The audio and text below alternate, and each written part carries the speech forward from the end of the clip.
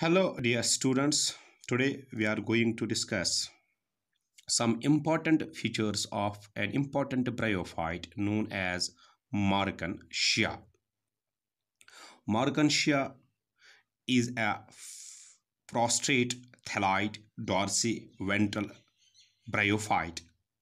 It has two distinct surfaces. One is dorsal surface. This is its dorsal surface and another is ventral surface. First, let us discuss something about ventral surface. You will see on this surface there are these hair-like structures.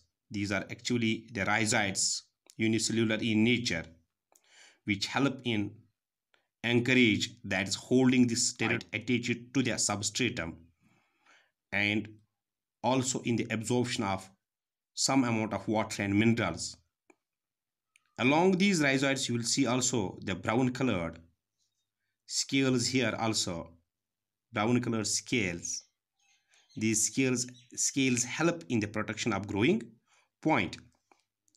Once we will come on the dorsal side of this uh, bryophyte, that's Marchantia, you will see that it has a special type of branching. That means dichotomous branching what dichotomous branching means.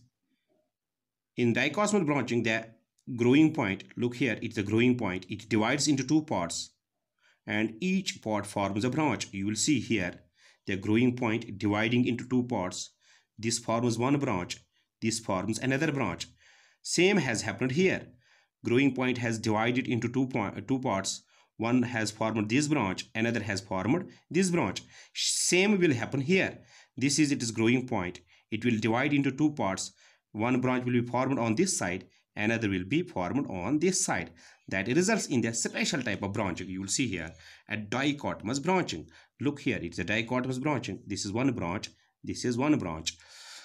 Another important feature of this is the presence of these cup-like structures on the dorsal surface. What are these cup-like structures known as? These cup-like structures are known as gemma cups. And in these gemma cups you will see here if I will try to remove some of them you will see that coming these greenish structures are present inside them. These are the green structures coming from inside these gemma cups. And these green green structures are known as eh, gemmae and help in vegetative propagation. These are multicellular in nature.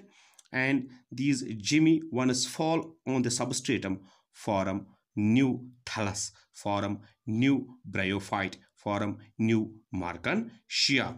This was um, something about the Marchantia.